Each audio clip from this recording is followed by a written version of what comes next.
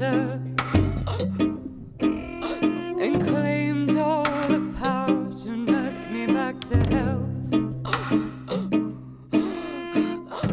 You said we could sleep here like children, but I was hardly more than a child myself.